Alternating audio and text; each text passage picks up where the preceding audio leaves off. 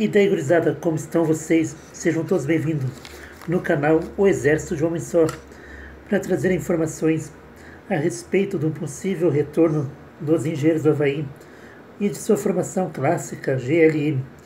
Mas, primeiramente, gurizada, vão se inscrevendo, deixando seu like, comentando, compartilhando o vídeo, dizendo o que vocês acham sobre este assunto, que hoje é o seguinte em seu Instagram oficial, um fã fez a seguinte, a seguinte pergunta ao Carlos Maltz.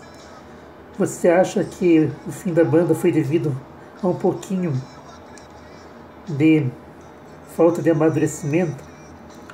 Aí Maltz não gostou muito da pergunta e, entre aspas, resumindo, ele respondeu o seguinte: Acabou, não tenho interesse nenhum nesse assunto. Morreu, me deixe em paz. A banda não vai voltar. Não vou procurar Humberto e não vou tocar com Augusto. Então, ou seja, o Carlos Maltz praticamente colocou um ponto final aí no retorno da formação clássica dos Engenheiros do Havaí, que como a gente sabe que não dependia só dele, dependia também dos outros dois, do, do Humberto e do Augusto. Até Augusto em suas lives, lives disse que pra, por ele tudo bem, ele toparia conversar, mas Humberto nunca é, falou sobre esse assunto, né, Gustavo? Até mesmo falou, mas que não pretendia voltar com a formação clássica.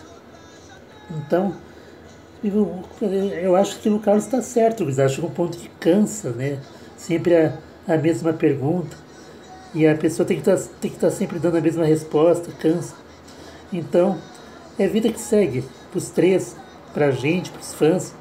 Humberto tem a carreira dele, embora com tudo isso que aconteceu, com essa sindemia aí que teve no ano passado, que está até hoje, está rolando aí, está parado tudo, né?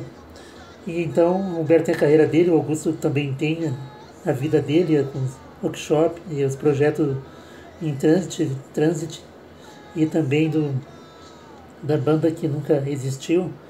E o Carlos Maus é astrólogo, tem sua vida é, astrólogo, é psicólogo.